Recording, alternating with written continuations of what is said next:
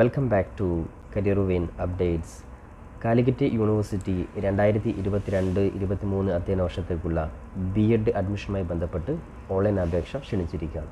അപ്പോൾ വിദ്യാർത്ഥികൾക്ക് തന്നെ എങ്ങനെ സ്വന്തമായിട്ട് മൊബൈൽ ഫോൺ വഴി തന്നെ അപേക്ഷ കൊടുക്കുവാൻ സാധിക്കുമെന്നുള്ള ഡീറ്റെയിൽസ് വീഡിയോ ആണ് ഈ ഒരു വീഡിയോയിൽ ഉൾക്കൊള്ളിച്ചിട്ടുള്ളത്. തന്നെ ബി എഡ് അഡ്മിഷൻ തയ്യാറെടുക്കുന്ന വിദ്യാർത്ഥികൾ ഈ വീഡിയോ ആദ്യം മുതൽ അവസാനം വരെ ശ്രദ്ധയോടുകൂടി കാണുവാൻ വേണ്ടി ഓർമ്മപ്പെടുത്തുകയാണ് കാരണം വിദ്യാർത്ഥികൾ അഡ്മിഷന് അപേക്ഷ കൊടുക്കുന്ന സമയത്തിൽ ചില മിസ്റ്റേക്ക് കാരണത്താൽ അഡ്മിഷൻ നഷ്ടപ്പെട്ടു പോകാറുണ്ട്. അതുകൊണ്ട് തന്നെ വളരെ ശ്രദ്ധയോടുകൂടെ മാത്രം അപേക്ഷ നൽകുവാൻ വേണ്ടി ആമുഖമായിട്ട് ഓർമ്മപ്പെടുത്തുകയാണ്.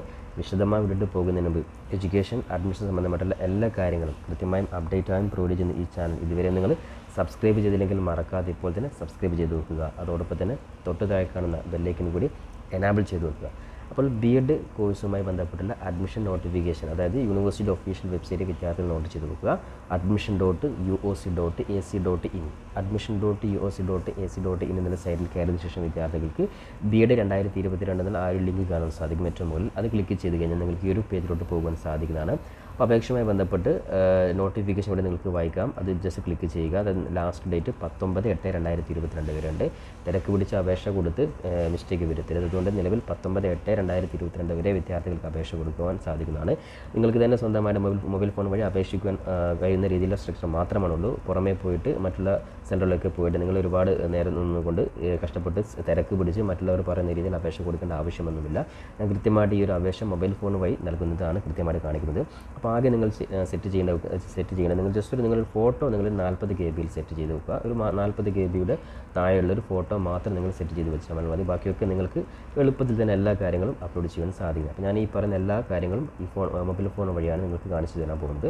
അപ്പോൾ അതിന് മുന്നോടിയായിട്ട് പ്രോസ്പെക്ട്സ് ഇവിടെ കാണാൻ സാധിക്കും. ഈ ഒരു പ്രോസ്പെക്ട്സ് കൃത്യമായിട്ട് ഡൗൺലോഡ് ചെയ്ത് കഴിഞ്ഞാൽ കാലിക്കറ്റ് യൂണിവേഴ്സിറ്റിക്കുള്ള കോളേജുകളും അതായത് ഗവൺമെന്റ് കോളേജ് ഏതൊക്കെയാണ് എയ്ഡ് കോളേജ് ഏതൊക്കെയാണ് സെൽഫ് ഫിനാൻസ് കോളേജ് ഏതൊക്കെയാണ് ടീച്ചേഴ്സ് യൂണിവേഴ്സിറ്റി സെന്റർ ഏതൊക്കെയാണ് ഇതൊക്കെ നിങ്ങൾക്ക് നാല് വിഭാഗത്തിൽപ്പെടുന്ന കോളേജുകൾ നിങ്ങൾക്ക് പ്രോസ്പെക്ട്സ് ഡൗൺലോഡ് ചെയ്ത് മനസ്സിലാക്കുവാൻ സാധിക്കുന്നതാണ്. ഇതിൽ പ്രത്യേകം ശ്രദ്ധിക്കേണ്ടത് ഗവൺമെന്റ് എയ്ഡ് കോളേജിൽ നിങ്ങൾ ഫീസ് ഇല്ലാതെ പഠിക്കുവാൻ സാധിക്കുന്നതാണ്. എന്നാൽ യൂണിവേഴ്സിറ്റി സെന്ററിലും അതായത് യൂണിവേഴ്സിറ്റി ടീച്ചേഴ്സ് എഡ്യൂക്കേഷൻ ആയാലും സെൽഫ് ഫിനാൻസ് കോളേജ് ആയാലും നിങ്ങൾ നിർബന്ധമായിട്ടും യൂണിവേഴ്സിറ്റി ഫീസ് സെമസ്റ്റർ ഫീസ് കൊടുത്ത് നിങ്ങൾ പഠിക്കേണ്ട ആവശ്യമുണ്ട് ഈ ഒരു വ്യത്യാസം മാത്രം ശ്രദ്ധിക്കുക. അതുകൊണ്ട് തന്നെ ഈ പിന്നെ ഫീസിന്റെ കാര്യത്തിൽ ഈ പറയുന്ന കോളേജുകളിലെ വ്യത്യാസം നിങ്ങൾ വിദ്യാർത്ഥികൾ ജസ്റ്റ് മനസ്സിലാക്കി വെക്കുക. അതൊക്കെ ഞാൻ കൃത്യമായിട്ട് കഴിഞ്ഞ വീഡിയോയിലൊക്കെ വിദ്യാർത്ഥികളോട് പറഞ്ഞിട്ടുണ്ട്. ഓക്കെ ഇനി നമുക്ക് ജസ്റ്റ് കൂടുതലായിട്ടൊന്നും ഞാൻ പോകുന്നില്ല. അതേപോലെ ബി എഡ് സ്പെഷ്യൽ എഡ്യൂക്കേഷൻ അതായത് ഹിയറിംഗ് ഇമ്പേർഡ് ഇന്റലക്ച്വൽ ഡിസബിലിറ്റി ഇത്തരത്തിലെ വിദ്യാർത്ഥികൾക്കും ഈ പറയുന്ന ബി എഡ് അപേക്ഷ ഇപ്പോൾ തന്നെ കൊടുക്കാൻ സാധിക്കുന്നതാണ് അപ്പോൾ അത് രണ്ട് വിഭാഗത്തിൽപ്പെടുന്നവർക്കും ഈ പറയുന്ന അപേക്ഷ കൊടുക്കുവാൻ സാധിക്കുന്നതാണ് ഓക്കെ അപ്പോൾ നമുക്കിനി ബി എഡ് അപേക്ഷയിലേക്ക് പോകാം അതിനായിട്ട് ഇവിടെ നിങ്ങൾക്ക് ബി എഡ് രജിസ്ട്രേഷൻ തൊട്ടതായി നിങ്ങൾക്ക് അപ്പ് നൗ എന്നുള്ള ബട്ടൺ കാണാൻ സാധിക്കും. അവിടെ ജസ്റ്റ് ക്ലിക്ക് ചെയ്ത് കഴിഞ്ഞാൽ നമുക്ക് അടുത്ത പേജിലോട്ട് പോകാൻ സാധിക്കുന്നതാണ് അപ്പോൾ ഇവിടെ പ്രത്യേകം ശ്രദ്ധിക്കേണ്ടത് ഏറ്റവും താഴെ നിങ്ങൾക്ക് ഇവിടെ കാണാൻ സാധിക്കും ന്യൂ ക്യാപ്പ് രജിസ്ട്രേഷൻ ആണ്. അപ്പോൾ ന്യൂ ക്യാപ്പ് ഞാൻ നിങ്ങൾക്ക് ഓരോ ഓരോ സ്റ്റെപ്പ് നിങ്ങൾ നിങ്ങളുടെ മൊബൈൽ ഫോണിൽ തന്നെ നിങ്ങൾക്ക് ചെയ്യുവാൻ സാധിക്കുന്നതാണ്. അപ്പോൾ ന്യൂ ക്യാബ് രജിസ്ട്രേഷൻ ഇവിടെ ജസ്റ്റ് ക്ലിക്ക് ചെയ്ത് കഴിഞ്ഞാൽ നിങ്ങൾക്കിവിടെ കാണാൻ സാധിക്കും. സെലക്ട് പ്രോഗ്രാം എന്നുള്ള ബട്ടൺ അവിടെ ജസ്റ്റ് ബി എഡ് കൊടുക്കുക. ഇനി ബി എഡ് സ്പെഷ്യൽ എഡ്യൂക്കേഷൻ ആണ്. അവിടെ അവർ രണ്ടാമത്തെ ഓപ്ഷൻ കൊടുക്കുക. അപ്പോൾ ബി എഡ് നോർമൽ ആണെങ്കിൽ ബി എഡ് അവിടെ ജസ്റ്റ് ക്ലിക്ക് ചെയ്യുന്നു. അതിനുശേഷം നിങ്ങളുടെ മൊബൈൽ നമ്പർ നിങ്ങൾ ഇപ്പോൾ നിങ്ങൾ കൈവശം ഉപയോഗിക്കുന്ന മൊബൈൽ നമ്പർ തന്നെ കൊടുക്കുക. അതിലാണ് ഒ ടി പി വരിക. അപ്പോൾ ആ മൊബൈൽ നമ്പർ കൂടെ ടൈപ്പ് ചെയ്ത് കഴിഞ്ഞ് send O T P button press ചെയ്ത് ചെയ്ത് കഴിഞ്ഞാൽ നിങ്ങൾ ഇപ്പോൾ ഉപയോഗിക്കുന്ന ആ മൊബൈൽ ഫോണിൽ നാലക്ക ഒ ടി പി നമ്പർ വരും. ആ ഒ ടി പി നമ്പറാണ് അടുത്ത സ്റ്റെപ്പിൽ നമുക്ക് കൊടുക്കേണ്ടത്. അപ്പോൾ മൊബൈൽ ഫോൺ ലഭിച്ച ഒ ടി പി കൃത്യമായിട്ട് ടൈപ്പ് ചെയ്ത് നാലക്ക നമ്പർ ടൈപ്പ് ചെയ്ത് വെരിഫൈ ചെയ്ത് കഴിഞ്ഞാൽ അടുത്ത പേജിലോട്ട് പോകുവാൻ സാധിക്കുന്നതാണ്. അപ്പോൾ നെക്സ്റ്റ് പേജിൽ പ്രധാനമായിട്ടും ഇവിടെ നിങ്ങൾക്ക് കാണാൻ സാധിക്കും. കോഴ്സ് ഇവിടെ സെലക്ട് ചെയ്യണം ബി എഡ് ഏതാണോ കോഴ്സ് ഇപ്പോൾ നിങ്ങളുടെ ഏത് കോഴ്സാണ്? ഇപ്പോൾ Arabic commerce English Hindi Malayalam mathematics ഏതാണ് നിങ്ങളുടെ കോഴ്സ്? അത് ഇവിടെ നിങ്ങൾക്ക് ഇവിടെ സെലക്ട് ചെയ്ത് ചെയ്ത് കൊടുക്കാം. ഓക്കെ അതിനുശേഷം നെയിം. അപ്പോൾ പ്രത്യേകം ശ്രദ്ധിക്കുക ബാക്കിയുള്ള ഡീറ്റെയിൽസ് ഒക്കെ നിങ്ങൾ എസ് എൽ സി ബുക്കിൽ അതേ രീതിയിൽ നിങ്ങൾ ജസ്റ്റ് ഇവിടെ ടൈപ്പ് ചെയ്ത് കൊടുക്കുക. ഒന്നാമതായിട്ട് നെയിം ബ്ലോക്ക് ലെറ്റേഴ്സ് ഓൺലി അത് ക്യാപ്സ് ലെറ്റർ തന്നെ കൊടുക്കുക. ഡേറ്റ് ഓഫ് ബർത്ത് കറക്റ്റ് കൊടുക്കുക. മൊബൈൽ നമ്പർ ഓൾറെഡി നിങ്ങൾ കൊടുത്തിട്ടുണ്ട്. ഇമെയിൽ ഐ ഡി കൃത്യമായിട്ട് ഉപയോഗിക്കുന്ന ഇപ്പോൾ ഉപയോഗിക്കുന്ന ഇമെയിൽ ഐ ഡി തന്നെ കൊടുക്കുക. ശേഷം ജെൻഡർ സെലക്ട് ചെയ്യുക. രജിസ്റ്റർ നമ്പർ ശ്രദ്ധിക്കുക. യു ജി അതായത് യു ജിയുടെയും പി ജിയുടെയും പി ജിയുടെ ഉണ്ടെങ്കിൽ ആഫ്റ്റർ പി ജിക്ക് ചെയ്യാൻ പി ജിയുടെ രജിസ്റ്റർ നമ്പർ കൂടെ കൊടുക്കാൻ സാധിക്കുന്നതാണ്. അപ്പോൾ ഓരോന്നിന്റെയും രജിസ്റ്റർ നമ്പർ ഇവിടെ കൃത്യമായി കൊടുക്കുക. ഡിഗ്രിയുടെ ഇവിടെ കൊടുക്കുക. പി ജിയുടെ ഈ കോളത്തിന് കൊടുക്കാം ശേഷം പ്രസന്റ് അഡ്രസ്സ് അപ്പോൾ നിങ്ങളുടെ അഡ്രസ്സ് ഇവിടെ ജസ്റ്റ് ടൈപ്പ് ചെയ്ത് കൊടുക്കുക. നിങ്ങൾ സിക്കിൽ അതേ ടൈപ്പ് ചെയ്ത് കൊടുത്താൽ മതി. അതിനുശേഷം ഇവിടെ കാണുന്ന ക്യാപ്ച കൃത്യമായിട്ട് ടൈപ്പ് ചെയ്ത് save and proceed button press ചെയ്യുവാൻ ചെയ്ത് കഴിഞ്ഞാൽ അടുത്ത പേജിലോട്ട് പോകാൻ സാധിക്കുന്നു. സ്റ്റെപ്പിൽ നിങ്ങൾ നേരത്തെ കൊടുത്ത മൊബൈൽ നമ്പറിലും ഇമെയിൽ ഐ ഡിയിലും നിങ്ങളുടെ കെ എഫ് ഐ ഡിയും സെക്യൂരിറ്റി കോഡും എസ് എസ് എം ഐ വന്നിട്ടുണ്ടാവും. അപ്പോൾ ലഭിച്ച ആ ലഭിച്ച കെ പേടിയും സെക്യൂരിറ്റി കോഡുമാണ് നിങ്ങൾ ഇനി എല്ലാ കാര്യങ്ങൾക്കും അതായത് അഡ്മിഷൻ കഴിയുന്നത് വരെയുള്ള എല്ലാ പ്രൊസീജിയേഴ്സിനും ഈ ഒരു കെ പേടിയും സെക്യൂരിറ്റി കോഡുമാണ് ആവശ്യമായിട്ടുള്ളത്. അതുകൊണ്ട് കൃത്യമായിട്ട് അത് സേവ് ചെയ്ത് വെക്കുക. അപ്പോൾ ആ ഒരു കെ പേടിയും സെക്യൂരിറ്റിക്കും ഇവിടെ ജസ്റ്റ് ടൈപ്പ് ചെയ്തുകൊണ്ട് ഈ ഒരു ക്യാപ്ച കോഡ് ടൈപ്പ് ചെയ്ത് പ്രൊസീഡ് ചെയ്ത് കഴിഞ്ഞാൽ നമുക്ക് തുടർന്നുള്ള സ്റ്റെപ്പിലോട്ട് പോകാൻ സാധിക്കുന്നതാണ്. അപ്പോൾ ഒരിക്കൽ കൂടി ഓർമ്മപ്പെടുത്തുകയാണ് കെ പേടിയും സെക്യൂരിറ്റിക്കും നിങ്ങൾ കൃത്യമായിട്ട് സേവ് ചെയ്ത് വെക്കുക. അപ്പോൾ ഇവിടെ ഹോം പേജിൽ വീണ്ടും വന്ന് ലോഗിൻ ചെയ്തുകൊണ്ട് നിങ്ങൾക്ക് എപ്പോൾ വേണമെങ്കിലും അതായത് കെ പേടിയും സെക്യൂരിറ്റിക്കും കിട്ടിക്കഴിഞ്ഞാൽ എപ്പോൾ വേണമെങ്കിലും നിങ്ങൾക്ക് അപേക്ഷ കൊടുക്കാൻ സാധിക്കുന്നതാണ്. അപ്പോൾ നമുക്ക് കെ പേടിയും സെക്യൂരിറ്റിക്കും ടൈപ്പ് ചെയ്ത് നമുക്ക് അടുത്ത പേജിലോട്ട് പോകാം. അപ്ലോഡ് സ്റ്റെപ്പിൽ നേരത്തെ കൊടുത്ത ബേസിക് ഡീറ്റെയിൽസ് ഒന്നുകൂടി നിങ്ങൾക്ക് ഇവിടെ കാണാൻ സാധിക്കും. ശേഷം നിങ്ങളുടെ ജസ്റ്റ് കണ്ടിന്യൂ ഏറ്റവും അവസാനമുള്ള അവസാന- അവസാനമുള്ള കണ്ടിന്യൂ ബട്ടൺ പ്രസ് ചെയ്ത് കഴിഞ്ഞാൽ നമുക്ക് അടുത്ത പേജിലോട്ട് പോകാൻ സാധിക്കുന്നതാണ്. നെക്സ്റ്റ് പേജിൽ നിങ്ങൾ ഫോട്ടോ അപ്ലോഡ് ചെയ്യേണ്ട ഓപ്ഷനാണ് പ്രത്യേകം ശ്രദ്ധിക്കുക ഫോട്ടോ നിങ്ങൾ നൂറ്റ നൂറ്റൻപത് ഇരുന്നൂറ് പിക്സലിൽ നിങ്ങൾ സെറ്റ് ചെയ്തുകൊണ്ട് സാധാരണ അപേക്ഷ കൊടുക്കുന്ന രീതിയിൽ തന്നെയുള്ള സെയിം ഫോട്ടോ പരമാവധി സൈസ് നാൽപ്പത് കെ ബിയിലായിരിക്കണം അപ്പോൾ നാൽപ്പത് കെ ബിയിൽ കൂടുതൽ ഫോട്ടോ ആണെങ്കിൽ അപ്ലോഡ് ചെയ്യാൻ സാധിക്കില്ല. അപ്പോൾ ഇവിടെ ജസ്റ്റ് നിങ്ങളുടെ ഈ ഒരു ചൂസ് ഫയൽ ഇവിടെ ക്ലിക്ക് ചെയ്ത് കഴിഞ്ഞാൽ നിങ്ങൾ ഏത് ഫയലാണ് മൊബൈൽ ഫോൺ സേവ് ചെയ്ത് വെച്ചിട്ടുള്ളത് അതിൽ നിന്ന് ഡയറക്റ്റ് സെലക്ട് ചെയ്തുകൊണ്ട് അപ്ലോഡ് ചെയ് ചെയ്യുവാൻ സാധിക്കുന്നതാണ് അപ്പോൾ നമുക്ക് അടുത്ത പേജിലോട്ട് പോകാം. അപ്പോൾ ഫോട്ടോ അപ്ലോഡ് ചെയ്ത് കഴിഞ്ഞാൽ ഇവിടെ കണ്ടിന്യൂ ബട്ടൺ കാണാൻ സാധിക്കും. ആ കണ്ടിന്യൂ ബട്ടൺ പ്രസ് ചെയ്ത് ചെയ്ത് കഴിഞ്ഞാൽ ഇവിടെ നിങ്ങൾക്ക് please read the instruction before entering the marks അപ്പോൾ നമുക്ക് മാർക്ക് എന്റർ ചെയ്യുന്ന പേജാണ് അപ്പം മാർക്ക് എന്റർ ചെയ്യുന്നതിന് മുമ്പ് കുറച്ച് കാര്യങ്ങൾ കൂടി ഇവിടെ ജസ്റ്റ് കൊടുക്കുവാനുണ്ട്. അതിന് ഒന്നാമതായിട്ട് ഡിസ്ട്രിക്ട് സെലക്ട് ചെയ്ത് കൊടുക്കുക. പിന്നെ വയനാട് വയനാട്ടിൽ അപേക്ഷ കൊടുക്കുന്നവരാണെങ്കിൽ അത് അവരുടെ താലൂക്ക് കൂടി കൊടുക്കുക. അപ്പോൾ രജിസ്റ്റർ നമ്പർ ഇവിടെ കൊടുക്കുക. രജിസ്റ്റർ നമ്പർ അതേപോലെ പി ജി ഓൾറെഡി നമ്മൾ കൊടുത്തിട്ടുണ്ട്. ഇനി കമ്മ്യൂണിക്കേഷൻ അഡ്രസ്സാണ് അപ്പോൾ നിങ്ങൾ കമ്മ്യൂണിക്കേഷൻ അഡ്രസ്സ് പ്രസന്റ് അഡ്രസ്സ് ഇവിടെ ജസ്റ്റ് ഓൾറെഡി നിങ്ങൾ കൊടുത്തിട്ടുണ്ട്. അപ്പോൾ ഇനി ഗാർഡ് ഗാർഡിയൻ നെയിം കൃത്യമായിട്ട് കൊടുക്കുക. എൽ സി ബുക്കിൽ അതേ രീതിയിൽ കൊടുക്കുക. ഗാർഡിയൻ ഫോൺ നമ്പർ ഇപ്പോൾ ഉപയോഗിക്കുന്ന നമ്പർ തന്നെ കൊടുക്കുക. അതിൽ ഗാർഡിയൻ ഓക്കുപ്പേഷൻ കൊടുക്കുക. ഏനലിംഗം നിങ്ങളുടെ ഏനലിംഗം ഏകദേശം എത്രയാണോ അതും കൃത്യമായിട്ട് ഇവിടെ കൊടുക്കുക. ശേഷം റിസർവേഷൻ ഡീറ്റെയിൽസ് ആണ്. അപ്പോൾ റിലീജിയൻ ഇവിടെ ജസ്റ്റ് സെലക്ട് ചെയ്ത് കൊടുക്കുക. നിങ്ങൾ ഏതാണോ ഹിന്ദു മുസ്ലിം ഏതാണെന്ന രീതിയിൽ ജസ്റ്റ് ഇവിടെ സെലക്ട് ചെയ്ത് കൊടുക്കുക. അപ്പോൾ അതിനുശേഷം ഇവിടെ കാറ്റഗറി ചോദിക്കും. ഇപ്പോൾ ഞാൻ മുസ്ലിം സെലക്ട് ചെയ്തപ്പോൾ ഇവിടെ ജസ്റ്റ് കാറ്റഗറി മുസ്ലിം അല്ലെങ്കിൽ ജനറൽ വിഭാഗം ഏതാണ് ഇവിടെ സെലക്ട് ചെയ്ത് കൊടുക്കുക. ശേഷം നിങ്ങൾ D belong to non criminal ആണെങ്കിൽ ഇനി ഏത് വിഭാഗ ഏത് റിലീജിയനിൽ വരുന്നവരാണെങ്കിൽ നോൺ ക്രിമിനൽ ആണെങ്കിൽ മാത്രം ഇവിടെ ജസ്റ്റ് യെസ് കൊടുക്കുക. അല്ലാത്തവർ നോന്ന് കൊടുക്കുക. യെസ് കൊടുത്തു കഴിഞ്ഞാൽ you should submit relevant document at the time of admission അതായത് നോൺ ക്രിമിനൽ ആണെങ്കിൽ നിർബന്ധമായിട്ട് നിങ്ങൾ അഡ്മിഷൻ സമയത്ത് നിങ്ങൾ ഹാജരാക്കണം. പ്രത്യേകം ശ്രദ്ധിക്കുക. ഇവിടെ ഏതെങ്കിലും ഒരു ഏതെങ്കിലും വെയിറ്റേജോ അല്ലെങ്കിൽ ബോണസോ ലഭിക്കുന്ന കാര്യങ്ങൾ കൊടുത്തു കഴിഞ്ഞാൽ നിർബന്ധമായിട്ട് നിങ്ങൾ അഡ്മിഷൻ സമയത്ത് ആ പറയുന്ന സർട്ടിഫിക്കറ്റ് ഹാജരാക്കണം. അല്ലെങ്കിൽ നിങ്ങൾ അഡ്മിഷൻ തന്നെ ക്യാൻസൽ ആവുന്നതായിരിക്കും. പക്ഷേ ഇവിടെ കാസ്റ്റ് സെലക്ട് ചെയ്ത് കൊടുക്കുക അപ്പോൾ ഏതാണോ റിലീജിയൻ അതിനനുസരിച്ച് കാസ്റ്റ് ശരിക്കും എസ് എൽ സി ബുക്കിൽ അതേ രീതിയിൽ തന്നെ നിങ്ങൾ ജസ്റ്റ് ഇവിടെ കൊടുക്കുക. ഇനി P W person persons with disability ഉണ്ടെങ്കിൽ മാത്രം യെസ് കൊടുക്കുക. അല്ലാത്തവർ നോ എന്ന് കൊടുക്കുക. യെസ് കൊടുത്തു കഴിഞ്ഞാൽ അവർ അവരുടെ സർട്ടിഫിക്കറ്റ് നിർബന്ധമായിട്ടും ഈ പറയുന്ന അഡ്മിഷൻ സമയത്ത് ഹാജരാക്കലോ ഹാജരാക്കേണ്ടതാണ്. ഈ ഒരു കാര്യം പ്രത്യേകം ശ്രദ്ധിക്കുക. ഇനി അതേപോലെ നേറ്റീവ് ഓഫ് ലക്ഷദ്വീപ് ആണെങ്കിൽ മാത്രം യെസ് കൊടുക്കുക. അല്ലെങ്കിൽ നോൺ ഇന്ത്യയിൽ കൊടുക്കുക. ഇനി കോട്ട അപ്ലൈഡ് ഫോർ ഇവിടെ ശ്രദ്ധിക്കുക ഏത് കോട്ടയിലാണ് അപ്പോൾ Lakshadweep Mahe sports defence teacher അപ്പോൾ ഏതെങ്കിലും ഇത്തരത്തിൽ അഡീഷണൽ ആയിട്ട് കോട്ടയിൽ അപ്ലൈ ചെയ്യുന്നവരുണ്ടെങ്കിൽ അവിടെ ജസ്റ്റ് ടിക്ക് ചെയ്ത് കൊടുക്കുക. ഓക്കെ അപ്പോൾ ഇനി ഇല്ലാത്തവർ ജസ്റ്റ് ഇത് ടിക്കറ്റ് ചെയ്യേണ്ട ആവശ്യമില്ലെങ്കിൽ ഈ എൻ എ എന്നുള്ള രീതിയിൽ ജസ്റ്റ് സെലക്ട് ചെയ്ത് കൊടുക്കുക. ഓക്കെ ഇനി അടുത്തത് വെയിറ്റേജ് ഡീറ്റെയിൽസ് ആണ്. പിന്നെ വെയിറ്റേജ് ഡീറ്റെയിൽസ് പ്രത്യേകം ശ്രദ്ധിക്കേണ്ട കാര്യം teaching experience in government or aid school അപ്പോൾ ഇവിടെ ഒരുപാട് വിദ്യാർത്ഥി സംശയമുണ്ടാകും. ടീച്ചിങ് എക്സ്പീരിയൻസ് എങ്ങനെയാണ് എന്നുള്ളത്. അപ്പോൾ ഗവൺമെന്റ് എയ്ഡ് സ്കൂളിൽ എക്സ്പീരിയൻസ് ഉള്ളവർ മാത്രമാണ് ഈ ഒരു ഈ ഒരു എക്സ്പീരിയൻസ് കൊണ്ട് ഉദ്ദേശിക്കുന്നത്. അല്ലാത്തവർ നോ നോ- എന്ന് കൊടു- കൊടുക്കാം. അതോടൊപ്പം തന്നെ എൻ സി സി ഞാൻ നേരത്തെ പറഞ്ഞതുപോലെ വെയിറ്റേജ് ബോണസ് കിട്ടുന്ന മറ്റുള്ള പ്രധാനപ്പെട്ട കാര്യങ്ങളാണ്. ഇതിൽ N C C N S S C ഇതിൽ എൻ സി സിയുടെ ഡിഗ്രി തലത്തിൽ സർട്ടിഫിക്കറ്റ് ഉണ്ടെങ്കിൽ മാത്രം നിങ്ങൾ എസ് കൊടുക്കുക. അല്ലെങ്കിൽ ലോൺ കൊടുക്കുക. അതുപോലെ എൻ എസ് എസും ഉണ്ടെങ്കിൽ മാത്രം കൊടുക്കുക. അല്ലെങ്കിൽ ലോൺ കൊടുക്കുക.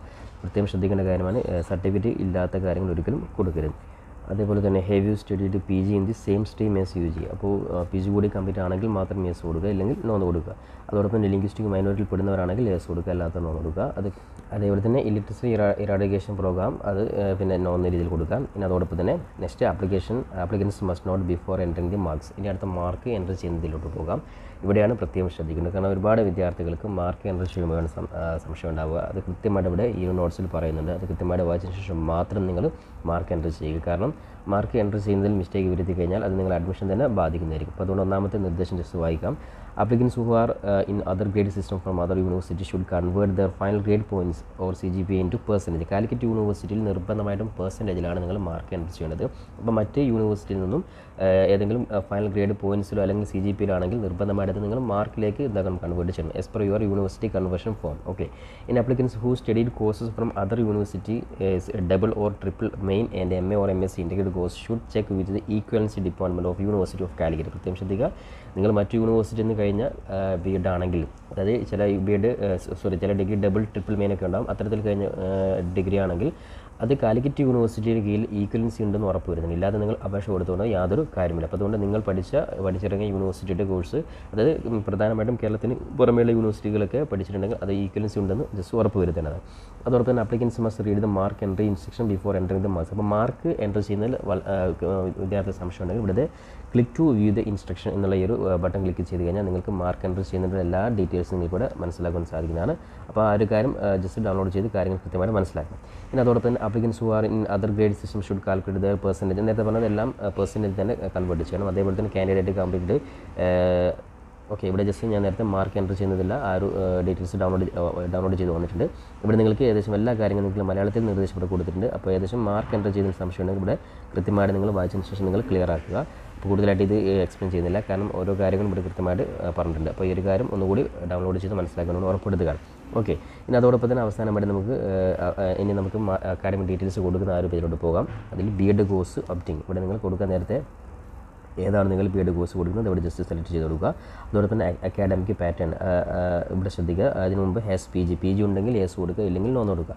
പ്രത്യേകം ശ്രദ്ധിക്കുക കൊമേഴ്സ് പോലുള്ള സബ്ജക്റ്റ് ആണെങ്കിൽ പി ജി നിർബന്ധമാണ്. അല്ല അല്ലാതെ ബി കോം കഴിഞ്ഞ് കഴി- കഴിഞ്ഞാൽ ഡയറക്റ്റായിട്ട് വിദ്യാർത്ഥികൾക്ക് ബി എഡ് ചെയ്യാൻ സാധിക്കില്ല. അപ്പോൾ അത്തരത്തിൽ ഇവിടെ പി ജി നിർബന്ധമാണ്. എന്നാൽ അഡീഷണലായിട്ട് മറ്റുള്ള കോഴ്സുകൾക്ക് പി ജി അഡീഷണലായിട്ട് ബോണസ് മാർക്ക് ലഭിക്കുന്ന അതായത് അഡീഷണലായിട്ട് വെയിറ്റേജ് നിങ്ങൾക്ക് ലഭിക്കും. അതുകൊണ്ട് ഇവിടെ പി ജി ഉള്ളവർ എസ് നോടുക അതായത് പി ജി ഉള്ളവർ ശ്രദ്ധിക്കുക.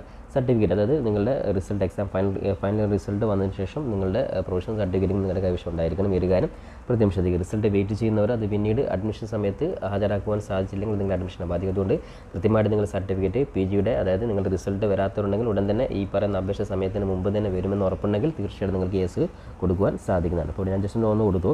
പിന്നെ അതോടൊപ്പം തന്നെ അക്കാഡമിക് പാറ്റേൺ അപ്പോൾ സാധാരണഗതിയിൽ പത്ത് പത്താം class plus two degree normal ആ ലെവലായിരിക്കും അത്തരത്തിലൊരു ഈ- ഈ പറയുന്ന ബട്ടൺ ക്ലിക്ക് ചെയ്യുക. ഇനി അതോടൊപ്പം തന്നെ B A or B S C degree holder of ഇവിടെ നിങ്ങൾ ഏതാണ് സ്കീം എന്നുള്ളത് ജസ്റ്റ് ഇവിടെ സെലക്ട് ചെയ്ത് കൊടുക്കുക അതേപോലെ ഇന്റഗ്രേറ്റഡ് പി ജി ആണെങ്കിൽ പത്ത് പ്ലസ് രണ്ട് പ്ലസ് ഫൈവ് അതായത് നിങ്ങൾ ഇന്റഗ്രേറ്റഡ് പി ജി ആണ്. അത് അത്തരത്തിൽ വരുന്ന അത് കൊടുക്കുക. ഇനി പി ജി കൂടി ഉള്ളവരാണെങ്കിൽ ഈ പറയുന്ന മൂന്നാമത്തെ ഓപ്ഷൻ കൊടുക്കുക. അതായത് ten plus plus two plus degree plus P G അപ്പോൾ പി ജി കൂടി ക്വാളിഫൈഡ് ആയിട്ടുള്ളവരാണെങ്കിൽ അതായത് ഇവിടെ ഹാസ് പി ജി എന്നുള്ളവരാണെങ്കിൽ ഈ പറയുന്ന നാലാമത്തെ ഓപ്ഷൻ ജസ്റ്റ് സെലക്ട് ചെയ്ത് കൊടുക്കുക. ഓക്കെ അതോടൊപ്പം തന്നെ ബി ടെക് ആണെങ്കിൽ B tech or B B A pattern ആണ്. അതായത് ബാച്ചലർ ഓഫ് എഞ്ചിനീയറിംഗ് ഉള്ള ആ ഒരു കോഴ്സ് കഴിഞ്ഞവരാണെങ്കിൽ അവർക്ക് ഈ പറയുന്ന കാരണം ബി ടെക്കുകാർക്ക് അല്ലെങ്കിൽ എഞ്ചിനീയറിംഗ് കോഴ്സ് കഴിഞ്ഞവർക്ക് കാലിക്കറ്റ് യൂണിവേഴ്സിറ്റിയിൽ മാത്തമാറ്റിക്സ് ബി എഡ് സാധിക്കുന്നതാണ്. അവർക്ക് ഈ പറയുന്ന നാലാമത്തെ സോറി ഈ പറയുന്ന അഞ്ചാമത്തെ ഓപ്ഷൻ സെലക്ട് ചെയ്യാൻ സാധിക്കുന്നതാണ്. ഓക്കെ ഇനി നമുക്ക് മാർക്ക് എന്റർ ചെയ്യുന്നതിൽ സോറി മറ്റു യൂണിവേഴ്സിറ്റി ഡീറ്റെയിൽസ് കൊടുക്കുന്ന പേജിലോട്ട് പോകാം അവിടെ ഒന്നാമതായിട്ട് യൂണിവേഴ്സിറ്റി നിങ്ങൾ ഏതാണോ യൂണിവേഴ്സിറ്റി പഠിച്ചത് ആ യൂണിവേഴ്സിറ്റി സെലക്ട് ചെയ്ത് കൊടുക്കുക. ഡിഗ്രി ടൈപ്പ് ബി ആണ് ബി എസ് സി ആണ് കൊടുക്കുന്നത് ഞാൻ നേരത്തെ ഇവിടെ ഇംഗ്ലീഷാണ് കൊടുത്തത്. അതുകൊണ്ട് ബി എന്ന് കൊടുത്തു. യു ജി പ്രോഗ്രാം ഏതാണ് ബി എ നിങ്ങൾ സബ്ജക്റ്റ് കൂടെ കൊടുക്കുക. അപ്പോൾ ജസ്റ്റ് ഞാനിവിടെ ഒരു ഡെമോ ആയിട്ട് ചെയ്യുകയാണ് അപ്പോൾ ഇവിടെ ജസ്റ്റ് ഞാൻ ഇവിടെ ബി ഇംഗ്ലീഷ് എന്ന് കൊടുത്തു. പിന്നെ അതോടൊപ്പം തന്നെ അതിനുശേഷം മെയിൻ ടൈപ്പ് അപ്പോൾ ഓരോ സിംഗിൾ ആണോ ഡബിൾ ആണോ മെയിൻ ആണെന്നുള്ള ആ രീതിയിൽ കൊടുക്കുന്നു. അപ്പോൾ ഇവിടെ ഞാൻ ജസ്റ്റ് ഓരോ ഡെമോ ആണ്.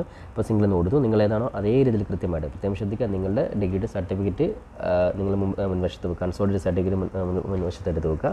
അതിലുള്ള അതേ രീതിയിൽ നിങ്ങൾ ജസ്റ്റ് ടൈപ്പ് ചെയ്ത് കൊടുക്കുക. അപ്പോൾ ഡബിൾ ആണോ കൃത്യമായിട്ട് നിങ്ങൾ നോക്കുക. അതോടൊപ്പം തന്നെ നിങ്ങൾ അടുത്തത് നമ്പർ ഓഫ് ചാൻസസ് എത്ര ചാൻസ് എടുത്ത് സാധാരണ ഫസ്റ്റ് ചാൻസ് ഇവിടെ കൊടുക്കുക. ഇയർ ഓഫ് പാസ് ഏത് ഇയറിലാണ് നിങ്ങൾ പാസ് ആയിട്ടുള്ളത്? രണ്ടായിരത്തി ഇരുപത്തിരണ്ടാണ് ഇരുപത്തിരണ്ട് അല്ലെങ്കിൽ ഇരു- ഇരുപത്തൊന്ന് ഇരുപത്തൊന്ന് ഇവിടെ ജസ്റ്റ് ടൈപ്പ് ചെയ്ത് കൊടുക്കുക.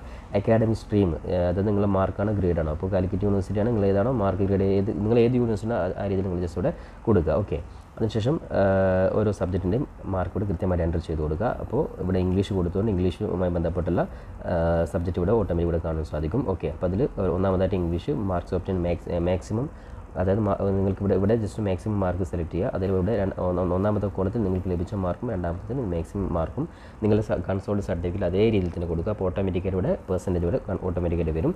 അങ്ങനെ നിങ്ങൾ ഓരോന്നും ലാംഗ്വേജ് അതേപോലെ language second core course complementary course complementary course second open course. ഇത്രയും കാര്യം കറക്റ്റ് ഇവിടെ നിങ്ങൾക്ക് ലഭിച്ച മാർക്കും മാക്സിമം മാർക്കും ടൈപ്പ് ചെയ്തതിന് ഓട്ടോമാറ്റിക് ഇവിടെ പെർസെന്റേജിലോട്ട് വരുന്നതായിരിക്കും.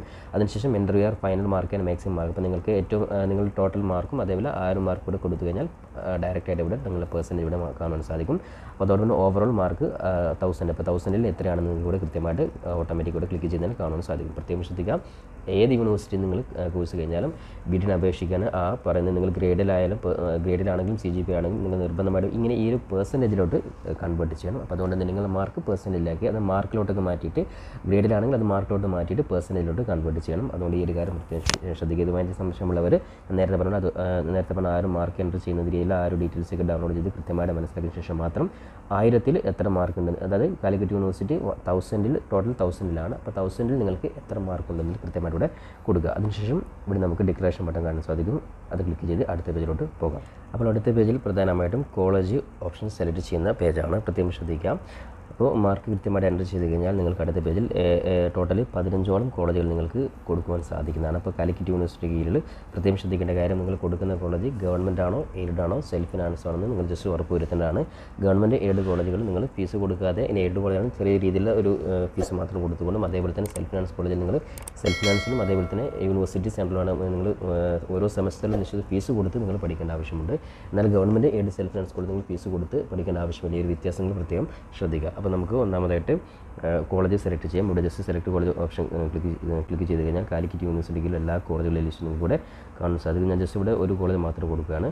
അതിനുശേഷം ഇവിടെ ഇവിടെ നിങ്ങൾക്ക് ഓട്ടോമാറ്റിക് കാണാൻ സാധിക്കും. കോളേജ് ടൈപ്പ് ഗവൺമെന്റ് ഇനിയിപ്പോൾ ഇവിടെ കോഴ്സ് സെലക്ട് ചെയ്ത് കൊടുക്കുക. അപ്പോൾ ഇംഗ്ലീഷാണ് ഓൾറെഡി ഞാൻ കൊടുത്തത്. അപ്പോൾ ഇവിടെ ഇംഗ്ലീഷ് രീതിയിൽ കൊടുത്തു. ഇനി ഗവൺമെന്റ് ഓരോ കോളേജിലെയും ഓരോ കോളേജിന്റെയും ഗവൺമെന്റ് ആണോ ആണോ നിങ്ങൾക്ക് ഇവിടെ കാണാൻ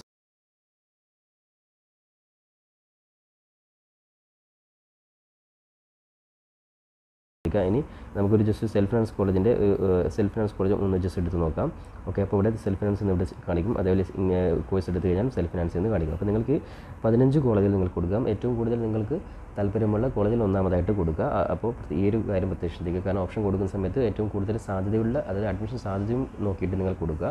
കാരണം നിങ്ങളുടെ ടോട്ടൽ മാർക്കും അതേപോലെ കഴിഞ്ഞ വർഷം ലഭിച്ചിട്ടുള്ള വിദ്യാർത്ഥികളെ കഴിഞ്ഞ വർഷം അഡ്മിഷൻ ലഭിച്ച വിദ്യാർത്ഥികളുടെ മാർക്ക് നോക്കിയിട്ട് നിങ്ങൾക്ക് ഏറ്റവും കൂടുതൽ സാധ്യതയുള്ള കോളേജ് നിങ്ങൾ ഏറ്റവും കൂടുതലായിട്ട് കൊടുക്കാൻ വേണ്ടി അതോടൊപ്പം തന്നെ O B C non community വിഭാഗമാണെങ്കിൽ അവർക്ക് അതായത് ഒ ബി സി വിഭാഗത്തിൽപ്പെടുന്നവർക്ക് കമ്മ്യൂണിറ്റി കോളേജ് കൂടെ അപേക്ഷ കൊടുക്കാൻ സാധിക്കുന്നതാണ്. അപ്പോൾ ഇവിടെ ജസ്റ്റ് ഞാനിവിടെ